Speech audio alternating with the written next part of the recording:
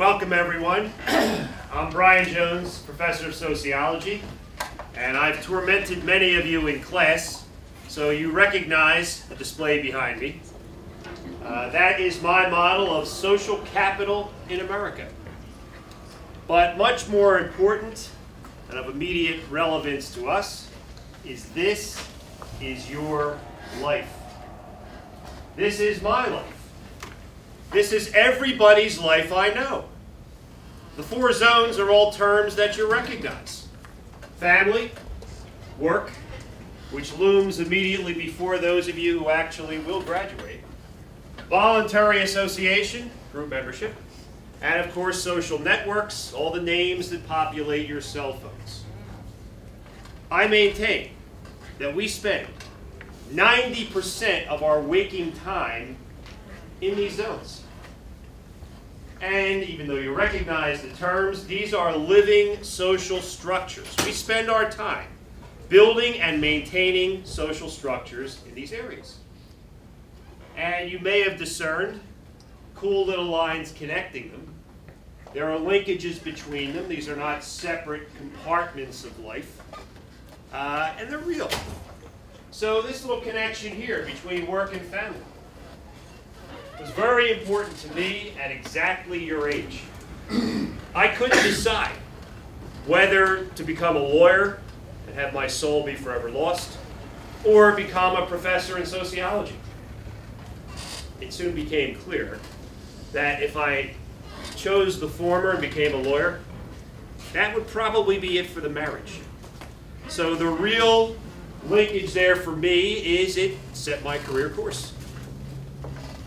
Again, a personal indication. This connection here between social networks and work. Over 30 years ago, I got a call on a Friday afternoon from a friend I only saw a few times a year, a week tie. And he said, if you want that cool Villanova job, you better get on the trolley right now. I wasn't driving at the time. If I didn't do that, this didn't happen.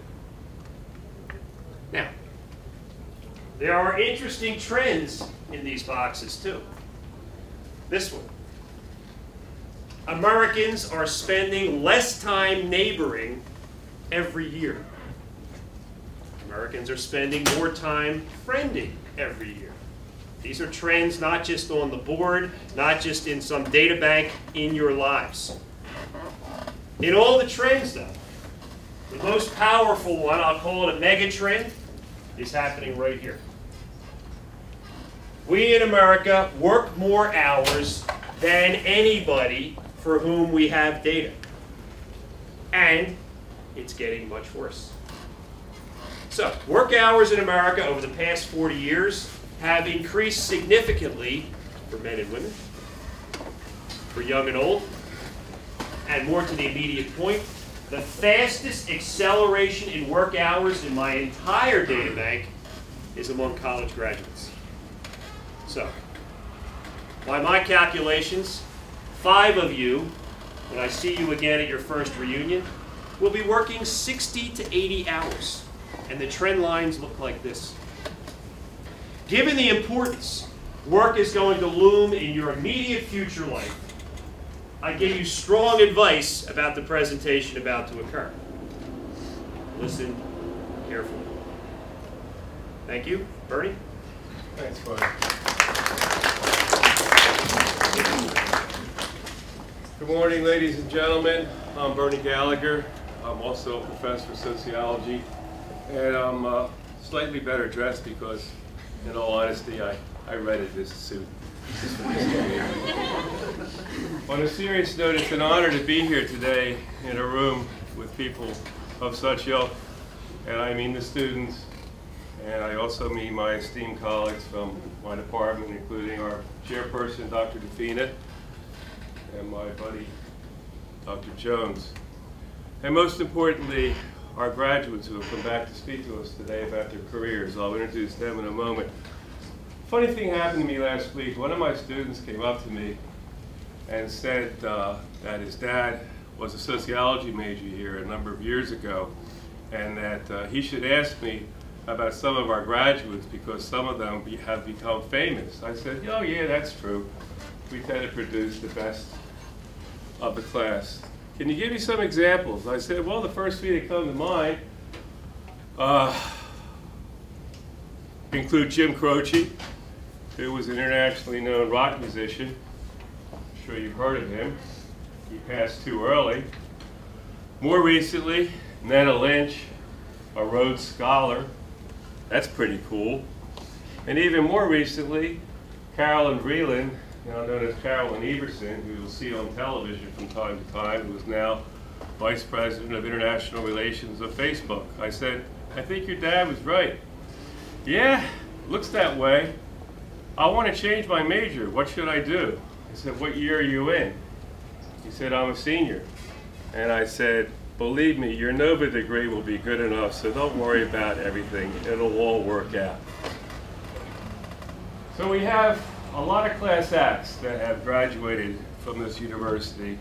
And today I really want to emphasize the fact that a lot of them were sociology majors. Here's the living proof. Our guest speakers today include a dear friend of mine, Chris Brennan, now known as Chris Curtis. Sorry, people get married and have children. She's on a vice presidential level with a major financial institution.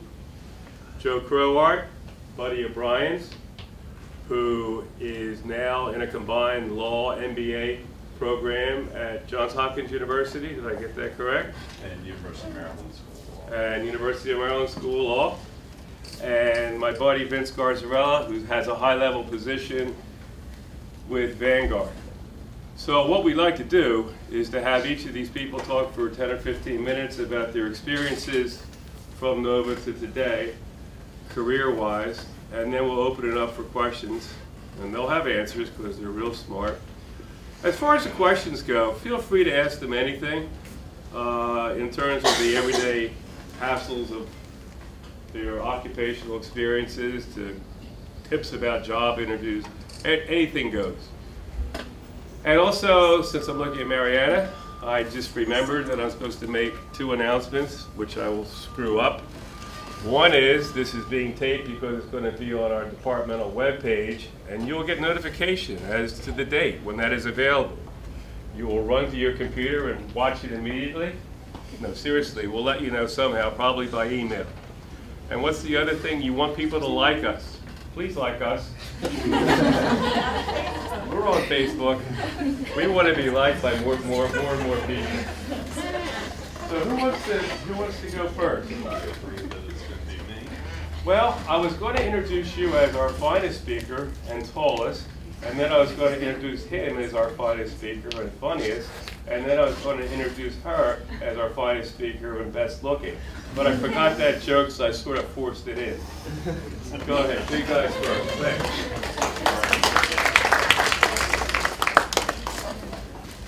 Good morning, everybody. Good morning, everybody. All right. I'm, I'm, uh, I'm going to talk a little bit about what I've been doing the past 20 years since graduating from Villanova, but I don't want to make this all about me. I'm going to try and put some lessons in because really it's, it's what you guys take away from today that's important. So, first question. Um, does anybody know anybody who goes to University of Virginia or familiar with UVA? Yes. Do you do you uh, know what they call a freshman at UVA? Anybody? They call them a first year student. Anybody figure out why? Thomas Jefferson founded the University of Virginia, and his belief was that learning was a lifelong thing. So there is no freshman, sophomore, junior, senior. There's first year, second year, third year, fourth year. Well, Thomas Jefferson would have gotten a kick out of me because I've been in school a real long time now. Um, I, I, when I was here at Villanova, I began majoring in, in history. And at the time, history was my passion. The department was older and I wasn't getting a lot out of it. Then I, I met a couple of these fellows from the sociology department. And they were younger, dynamic, and I really took Long it to time them. ago. And, and 20 years later, they're still dynamic. Stepped on your joke, sorry. But um, uh, professors like Brian, uh, Rick, Rickley, Rick Eckstein, another one, Satya Patnaik. Um, in them, I found some real, real excitement, energy. They were great mentors, and I really took to it. So I decided I was going to be a sociology professor. Graduated here in December 1993. Went off to University of Maryland, College Park, and began a PhD program. Got a master's a couple years later. I was focused in organizations. Uh, went on beyond that, and as I as I got closer to to the PhD, started thinking about it.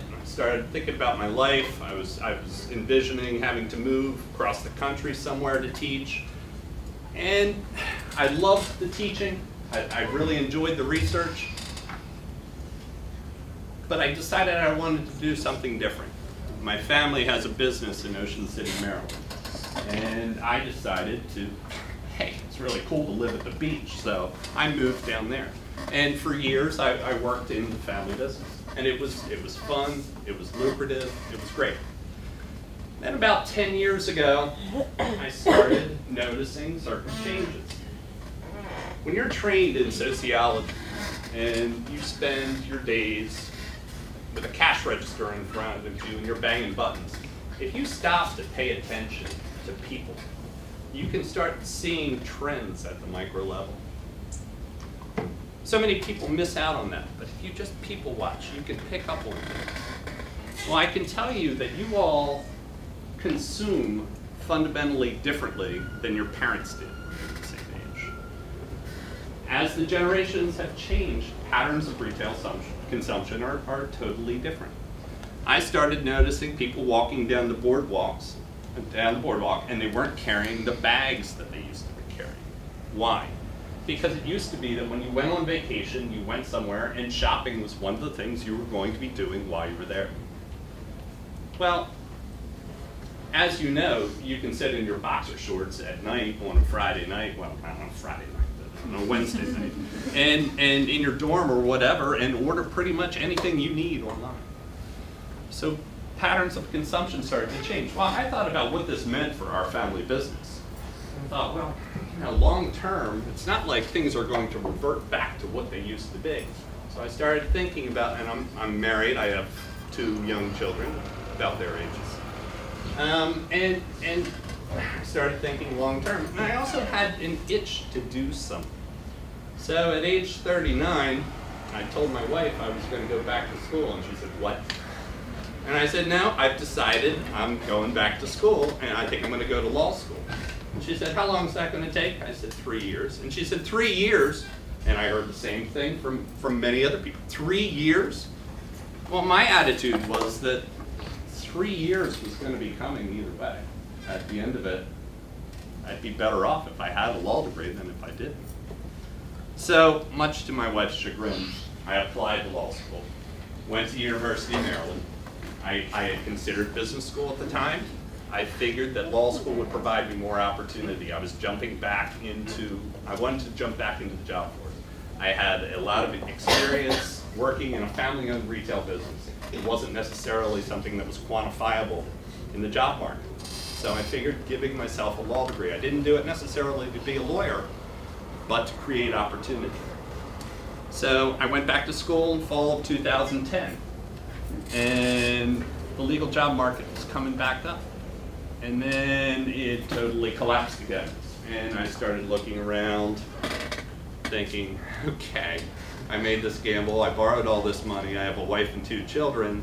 My wife's going to leave me if I graduate from this program without the job. She wasn't really going to leave me. She was thinking I about hope it. she was thinking about it. So uh, I started thinking, okay, what makes me fundamentally different from my classmates?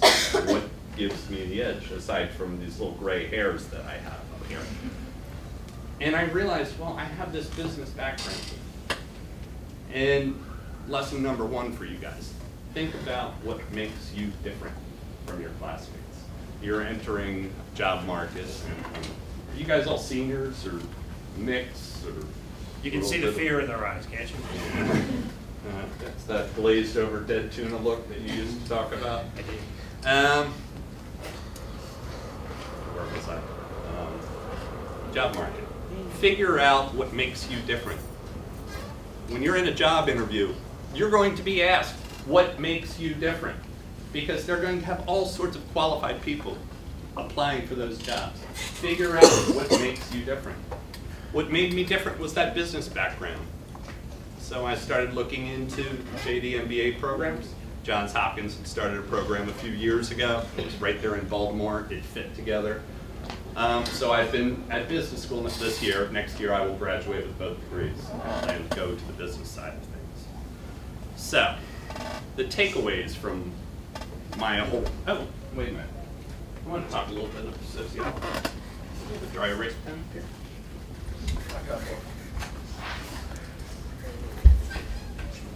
This year I've been taking a course, thank you. This year I've been taking a course in uh, um, uh, networked organizations.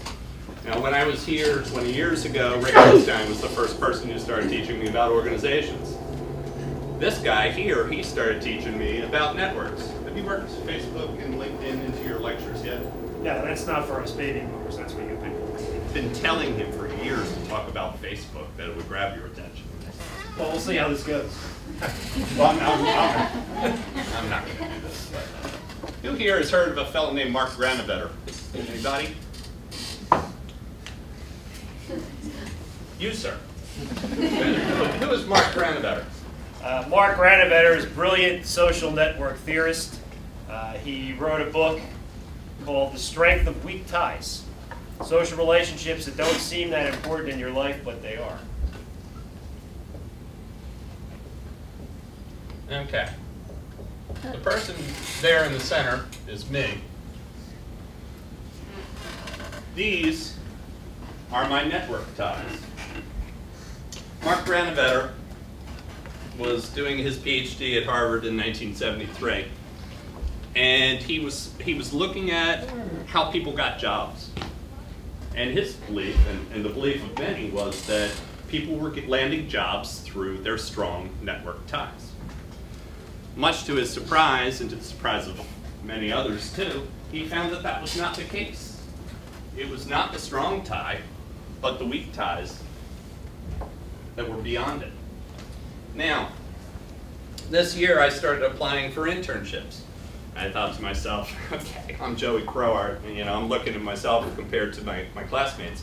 I've got the JD that they don't have. I have six publications at the bottom of my resume. They didn't have those. I thought that this was going to be easy for me. And through much of the winter, I did not get a single call for an interview.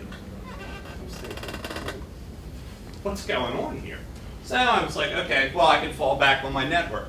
So I reached out to my friend Scott here, and I reached out to a guy over at the Attorney General's office, and I said to those guys, well, hey, you know, you have any, you know of any job openings? And they said, well, no, I don't. It's like, okay. So then I reached out to a guy at Exelon, and I reached out to a guy at Johns Hopkins, and I said, you know, these are good friends of mine. I said, well, do you have any openings? I figured somebody would have some. Nobody had it.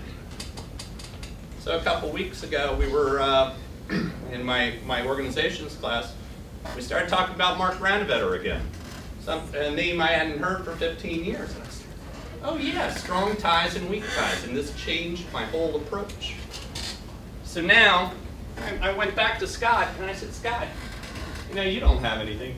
Do you know of somebody else who I might be able to talk to? I'm interest, interested in doing this and this and this. Maybe I could just talk to them.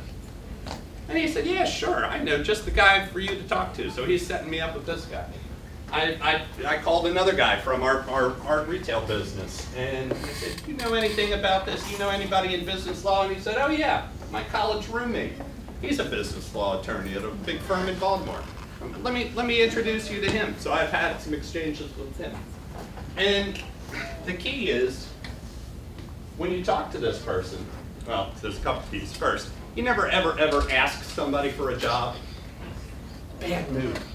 Don't ask somebody for a job because you will turn them off immediately. Instead, and this is one of the best pieces of advice I ever got,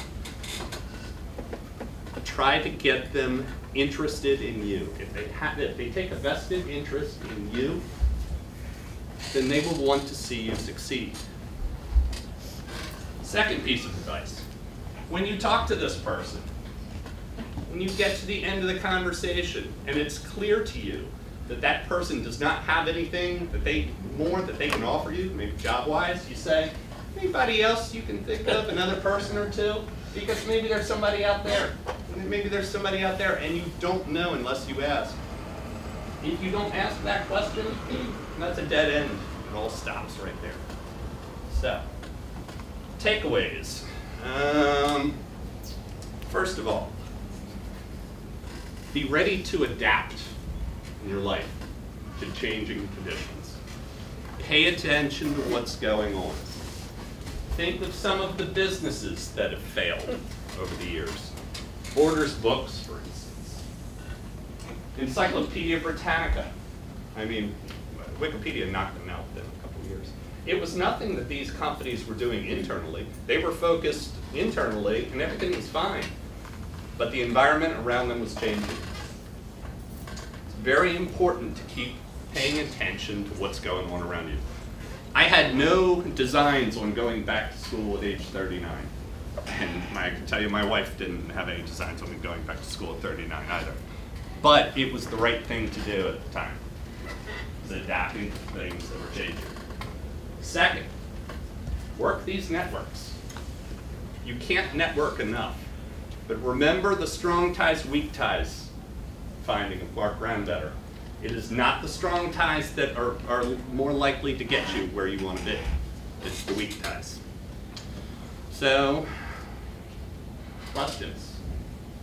Anything at all? Well, I think we're gonna do them all at the Oh, at end, the if end. you've had a, uh, an overview of all three, and like I said, you know, make this as interactive as possible. You don't have to clean the board, I'll, I'll do that. You like this one? Yes. Very accurate. Thanks, Joe. Thank you. Appreciate it. Thank you.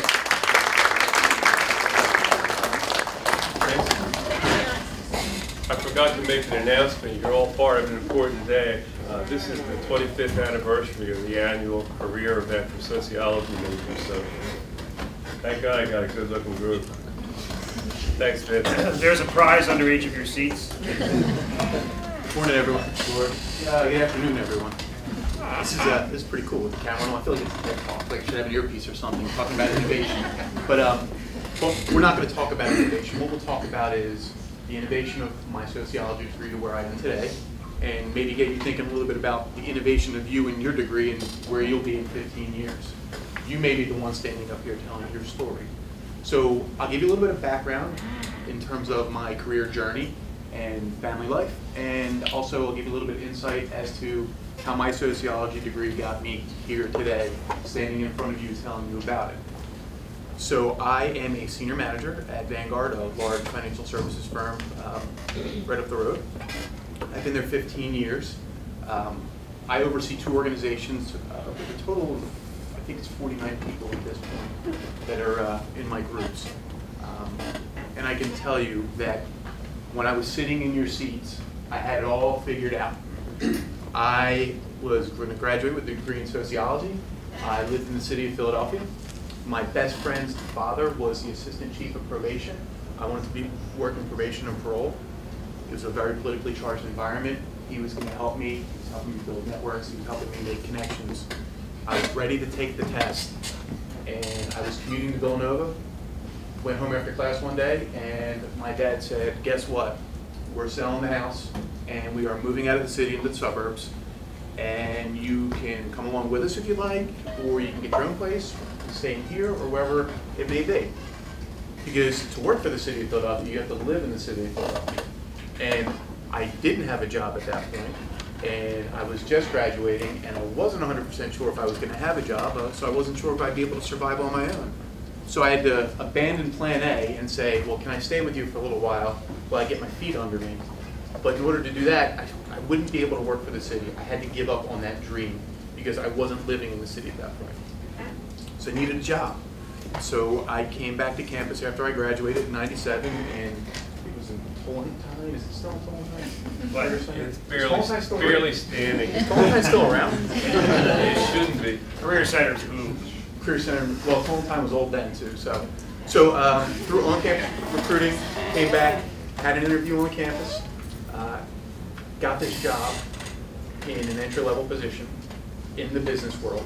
And I went home and I told my parents that, hey, this is great, I got a job, get myself up on my feet, gonna move out, get my own place.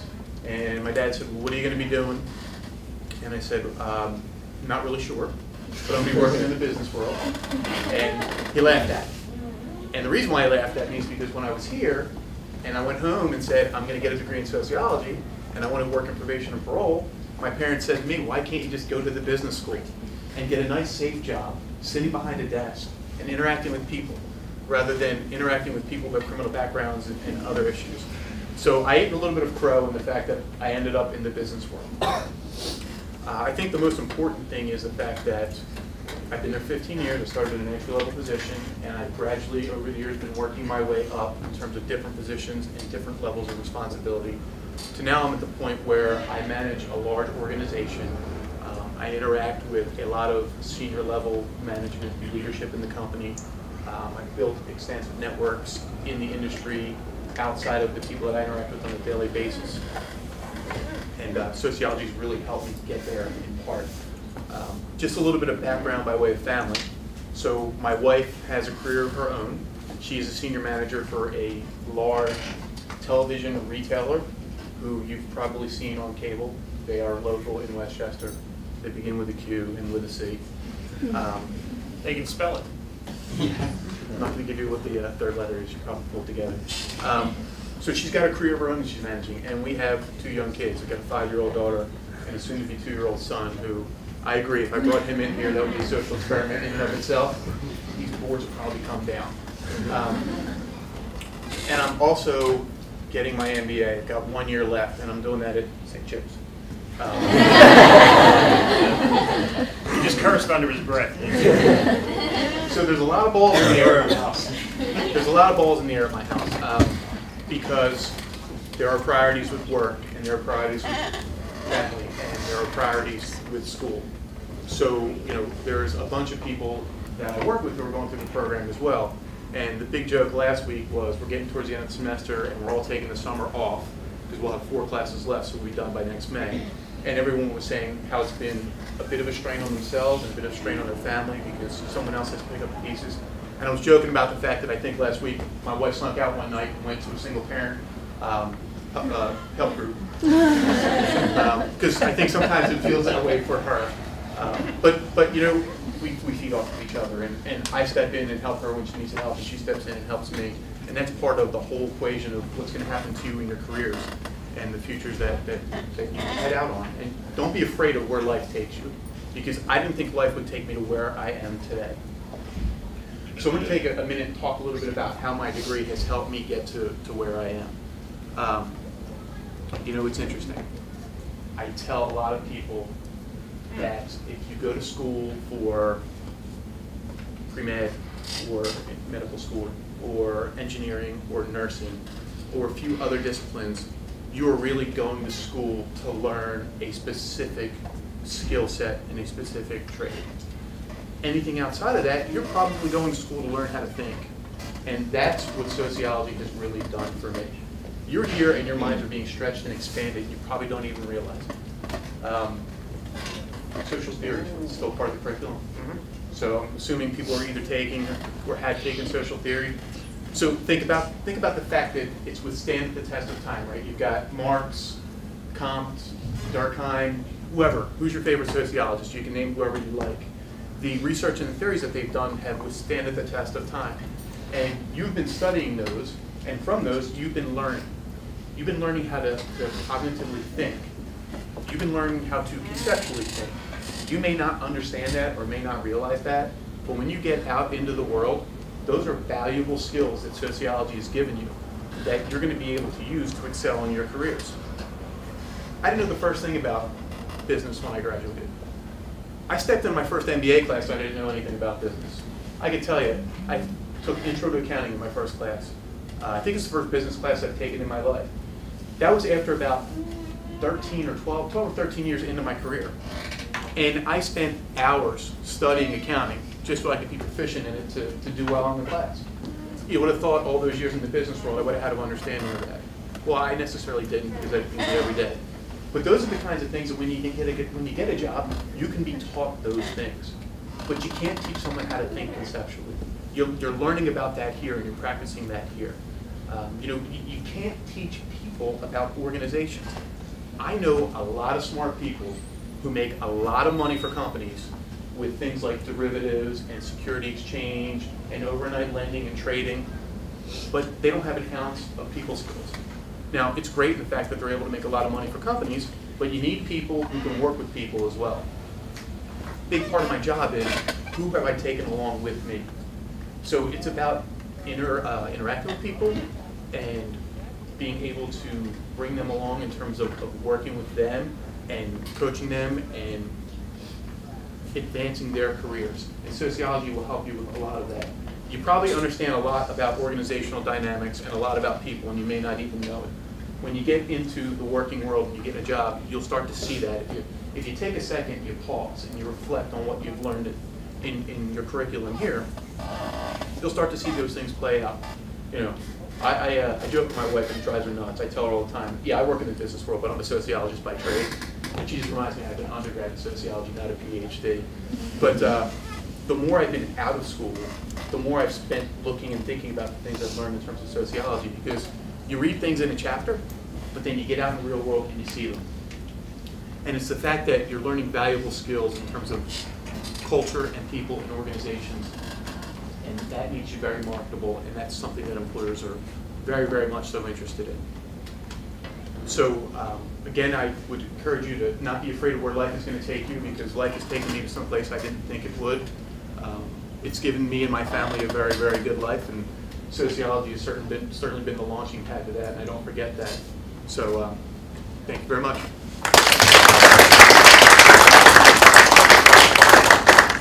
Okay, now this is where you participate. You need, we need, we encourage questions. Something must be rattling through your heads. What would you like to ask any one of our panel members? You're being taped. Um, Make it smart. someone also interested in going into a program where a JD MBA degree is offered? Um, I oh, like go to a lot of events and I always value the experience and knowledge and wisdom that all these people bring to me through their different, you know, like road and path to where they got. Um, and I've been told that that is so valuable to also have when you go for a furthering degree. Um, but I have parents on me who are saying if you go continue your college education right like right after you graduate, you can defer student loans and be better off that way. And I was just wondering how you feel taking, you know, going later on in life. Would, do you wish you took a different path earlier on? Do you wish you found this like right after you graduated from here? This is, very good question because it's something that many people wonder when the timing is right to do. And there's a trade-off. Um, on one hand, if you go right out of undergrad, you lack the sort of life experience that can really give you an edge in graduate school classes. Earlier this year, um, in my MBA program, one of my, there's a broad age range within our MBA program, but one of the, the students who was a year or so out of undergrad asked the professor in class what an insurance deductible was. And half of us looked at each other like, how could you be in business school and not know what an insurance deductible was? But then I saw the other half of the class was like him, they didn't know. So there's something to be said for living a few years and getting some work experience and understanding what professionalism is before you to go to school. The flip side of that is, as you grow older, you will get busier. You might think right now, oh, man, I don't have the time for more school. Well, guess what? you're going, you have more time now than you ever will have. The three of us are parents. We can tell you, it gets nuts. So, I, I, I hope that, you, you know, there's pros and cons to both. I would say it's good to have some work experience first, but if you can get the schooling done in your 20s, that will help you too. I agree with Joe. My, my personal feelings, and they're only my own feelings, uh, is that the best route is right from college into med school, grad school, law school, whatever it might be. I think that if I had uh, fooled around for a year or two, I might have lost my motivation. Plus, I like, this is my own kind of OCD makeup, I like to get things over with so I can proceed with the rest of my life. I don't know whether I would have uh, been as successful as, as Joe is if I waited that long. I might have uh, gone in different directions. I might have ended up in a rock band and be dead by now. So that's what I, that's what I would suggest, Sue, What about you, Brian? Do you have any feelings about Uh, that? I, I worked for a year in an anti-poverty program in Philadelphia, and that year really helped sharpen my perspective. Basically, I ran kicking and screaming back into academia, um, and yeah, picked up maybe some professionalism along the way.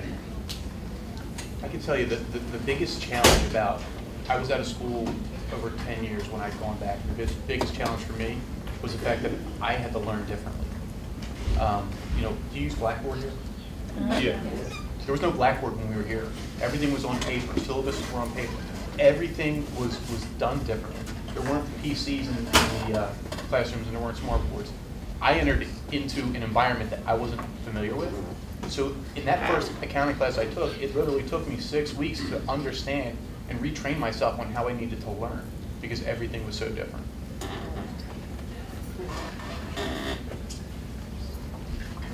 Yes.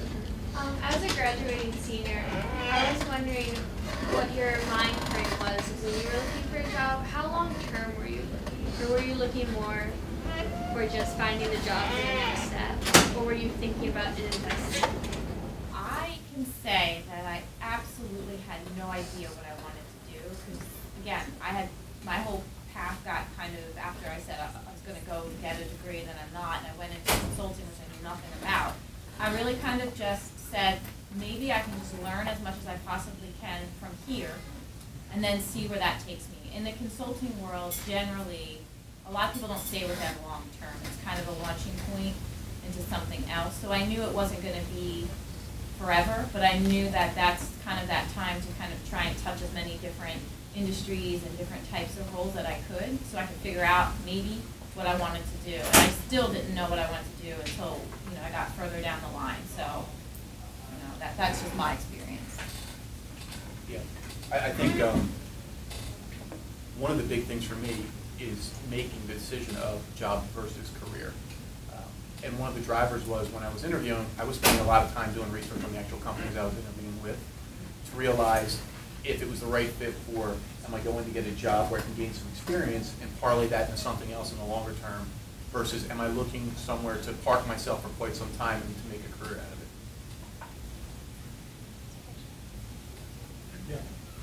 Um, you guys have talked about how you work your way up within your different organizations. That's Katie, by the way. I know everybody's name. It's true. But I was just wondering how important you feel lateral moves are within the organization and getting to where you are now. I think it's super important. I mean, where I work, they actually have a whole work stream dedicated toward um, helping people move laterally within the company alone. In general, they try not to keep people in the same role. They say two years is too short, about seven or eight years is too long for you to be in the same role. So they actually facilitate the process of moving you laterally around all the time. To move up the chain is a much, at least where I am, it's a very long process and a lot of things have to happen in order for you to, to get those promotion levels. Granted, most people move laterally within their roles to help them gain more experience and they figure that these people, we've already invested in them, we'd much rather keep our talent internally rather than try and hire externally if we can. So if somebody finds it's time for them to try something new, they're happy to help try and place you within another role, uh, rather than trying to backfill that with somebody externally. That's been my experience. I think, I think lateral movement's critical. Um, You know, it gives someone an opportunity to, to learn a little bit about the department or a role before advancing in it. I've had se- several lateral moves that helped me get to where I am. And a good example is, um, you know, I spent time as a supervisor moving laterally before I was able to be promoted to a manager. And although I thought I might have been ready at that point to be a manager, I clearly wasn't. And being a supervisor and gaining that level of experience really helped me excel once I did get promoted. Okay. Alright, um, my question is, as like you guys were speaking, you had like great stories of saying that like sociology was like a good backbone and things like that, but were you ever undergrad like maybe discouraged or thinking, because you didn't end up in a path of maybe being a sociologist or, so did you ever think you should have went down a different road under, undergrad instead of being sociology? No, I didn't. Honestly, I really didn't. I think that that gave me the opportunity, and I think that was pretty, just to think differently. And that, to me, been the biggest skill set, to be able to think in a larger term way. I see it every day in what I do, and people interact with, whether it was from a more, you know, driven technical management side or more of a, you know, inter- people interaction side. I don't think that I would have had the same experience that I had had I gone down that business path. I would have been in a very different world. I probably would have ended up meeting more on the trading desk or something like that, which is again a great experience if that's where you, you'd like to go, but that was not the path that I wanted to necessarily pursue. I think I wanted something a little more rounded and I, I like touching a lot of points. I think I'd get too forward focused on just that part. I, I agree completely with Kristine. Um, once upon a time, I was an engineering major, and I got out of that. Um, not that I didn't like it, but sociology, to me, seemed like it could, it, it could provide such a great skill set. When I was here, I lived with two engineers, a finance major, and an accounting major. And they used to make fun of me all the time about norms and values, and mores, and, and things like that but I can write circles around them. And the communication skills, Vince touched on the importance of communication skills. That is one of the greatest elements of human capital that you can carry with you when you go out into the workforce. Human capital, what I mean by that is your value in the workplace. If you can communicate well, you have made yourself very valuable. And that's what sociology gives you. And I can tell you kind of an interesting story that, um, about the value of, of how some companies really do value the written skill set. Uh, My husband just started working for Amazon in September, and his first meeting he ever went to, and I don't know if you've ever read anything about Jeff Bezos, the way that he runs his company is they write these things called six pagers. So at the management level, when they come in for a new product, they have a six-page written document. They walk in the room and there's a fifteen-minute reading period, and they have to sit there, every single one of them sit there and read it, read through it, and then discuss it. And everything, the written word is so valuable, they actually have to write writing tests before they come in. These are guys, I mean, my husband's a computer engineer, kind of, you know, background, running teams, but they all have to know how to write. The written skill set is so important, so if you don't have those backgrounds too, it's gonna, that's an important skill to have. Yeah, this notion that you go to college, in a year or two, you figure out exactly what you want to do with your life, and then you get trained to do that with your major, is hilarious. And has happened exactly zero times in the 30 plus years I've been professing. Uh, the truth is, whatever your major, you accumulate skills. Uh, so that's what you're selling. Nobody's going to say, uh, you know, you majored in sociology, write a treatise on Durkheim. But there are there are things you get, and as Vince pointed out, from doing so, that are cash on the barrel and skills. Vince, I think you might have uh, known what I meant when I said that you're the best speaker, which I say for not everybody, and also one of the funniest, um, getting at that story. Your favorite story? Yeah, the famous story. I know, I don't know yeah, how many people, how many people are underneath you? Fifty. Fifty? Okay, and sometimes termination is, is required. Sometimes termination is required. Would you tell them about the termination room? The termination room is a, a, a room behind locked door in HR. where when someone has not performed up to the expectation and not delivered value back to the company, um, they need to be let go. So when you go into the room, it is you, the manager, and someone from HR and the individual. And uh, your favorite part, right, Bernie? Yeah. Everything except the tissue box and the chairs are bolted down. I love it. So if something should happen, the worst you'll do is get a paper cut from the tissue box. They can't pick up a chair and hit him. Is that the most stressful part of your job, having to do that? You know, it doesn't happen, believe it or not, like, as daunting as it sounds, that doesn't happen a lot. Um, People really are passionate and dedicated and work hard. Most of the time when things like that occur, it's because they're just in a place that's not a good fit for them. And, you know, I think the most interesting thing that I've learned is that, um, and this is probably the more stressful part of, of the job. The stressful part of the job is making sure that I'm being honest with people, because that's ultimately what they want. You know, there's people who you're honest with along the way, who actually understand the fact that failure can be a success. It's just sometimes you don't see it yourself. So helping them along and saying like, hey, listen, you're not, you're not in the right job, you're not in the right place. There's, there's probably somewhere else that's better for you. Um, When they don't see that and understand that, that creates a lot of stress because then you're getting resistance around the fact that they're never going to be able to help themselves in the longer run. But when you can talk to them and have them understand that, you know, I've seen people who have left the company on the way out and said, hey, can I just shake your hand and say thank you for opening my eyes to the fact that this isn't the world that I belong in. And then they go back to school, go to other places, and they're unbelievably successful. So, you know, running the business isn't, a lot of people think running the business and running a big, big business is very, very stressful.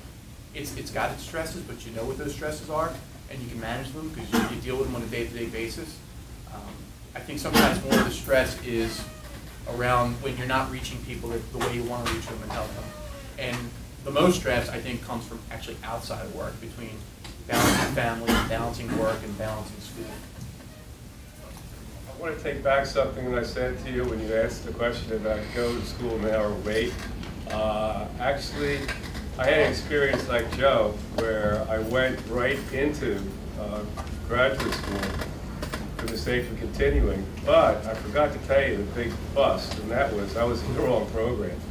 So I spent two years in an MBA program and actually discovered that I had absolutely no interest in it but accidentally given the opportunity because I bullshitted the dean into taking a social course for the first time in my life and realized two years in the graduate school, that's really where I belong. So I want to sort of retreat on that. I'm glad I didn't leave the academic world because we have all this fun still going on. Any other questions? Dan, you're usually good for any, for. Why do you always call me out for? I don't know, because you're funny and you're smart. Come on, Dan, bring it. Um, give me You like, have to, you can't just do this. Give me like two minutes. I'll think of a very good question. Hey, Dan, do you have an IRA? Uh, Dan, do you know what an IRA is? Anybody tell me what an IRA is? It's a retirement account. Yes, it's individual retirement account. no, I don't. All right. Does anybody in here have an IRA? I didn't expect any of you to. This is a public service message, okay?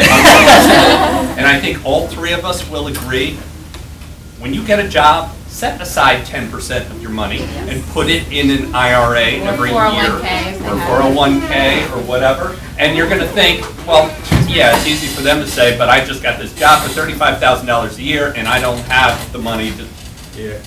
Trust me, I wish somebody would have told me this when I was your age. I didn't figure it out to my early 30s. When you retire one day, the amount of money you have in your retirement is largely determined by how early you start. If you Google an IRA calculator and put in 4,000 a year and what your age is, it's going to show you how much you're going to retire with. The earlier you do this, the better. That's all. I'm sorry. Excellent, excellent point. And let me give you, let me give you a living example of what happens if you don't do that. When I first came to Villanova, I was 26 years of age. I didn't even want to hear the word retirement. To me, that was something that happened to people on another planet. The chairman at the time said, Bernie, you have to start taking X amount of dollars out of your monthly paycheck. I said, Dr. Hughes, I'm fine. You know, like I was invincible. I was never going to. So I didn't even start kicking in for 15 years. What does that matter now? Well, it's about half the size it would have been had I listened to the chairman in the first place. So, boy, I learned the hard way about, about the point that you missed. I don't want to put any pressure on you. No, I'll ask you a question. I, I just, Go ahead. I just- all right. A uh, Dan question, when with that?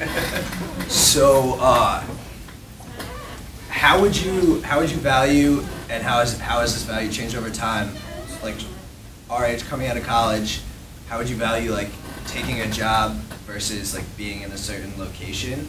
And how has that changed over time now that you all have developed families? I'm sure you like stability now and knowing that you can be in a certain location. But when you were coming right out of college, were you like, I'll go anywhere? And how did you value that versus taking a job? Yeah, I would definitely use this time to travel and to see things and to do things and go to a different place if that's what the opportunity is at this point in your life because you are going to hit a point where you do want a little and less travel and sometimes you don't even you know have that option you still have sometimes have to travel as well but go for it I mean there's so many exciting places to go and to see it's much more difficult um, to try and, and change locations once you've already been established and have kids in school and things like that. We were actually faced with looking to move to Seattle to Amazon last June, and that was such a daunting thought because I have a career. You know, he has a career. We have kids in school. We have family. So use that time. I loved it. I traveled a lot the first two years out of college with my job, and it was the greatest time. Everybody's young. You have no ties. You can just do it. Especially, I mean, if you get something even international, get a chance to see some of the world, just do it. Um, there's going to be a time in life where you're going to want to be a little more, you know, sit, you know, set, stay in the same location. So. I, I mentioned my, my struggle this year in finding an internship. Well, it's not because I'm a zero. It's that I have limited myself effectively to the Baltimore area, not even DC, because it's, it's a little too far for me to travel. I'm limiting myself to Baltimore because I don't want to uproot my family again. It's, the three of us, I'm sure, have been faced with the same sort of things. You have the flexibility right now that if somebody out in San Francisco offers you a job and you're willing to travel, you can do it. You're not taking the three cats, the dog, your two kids, and your wife with you. So I would, I agree with Kristine, take advantage of Yeah, that. en- enjoy it. That, those are experiences that, you know, life is short. You're gonna find, and the years go faster and faster, the more, the longer you're out of college. So, you know, use that time to really explore things and and get a chance to, to know different locations. Thank you. definitely. Well, I started off mentioning the uh, Jim Croces and the Carolyn Brelands and the Nana Lynches of the sociology department, but they never end, and I think that you people are every bit of the same ilk. And I can't tell you, not just the typical BS about how appreciative I am that you took time out of your day. You know I feel that way. You guys are really great. You really were. And on this day, 25th anniversary, I'm sorry, did we get that in? Uh, you really, you really helped it rock. Them. I thank you very, very much.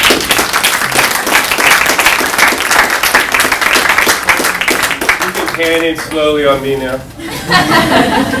The wedding wall.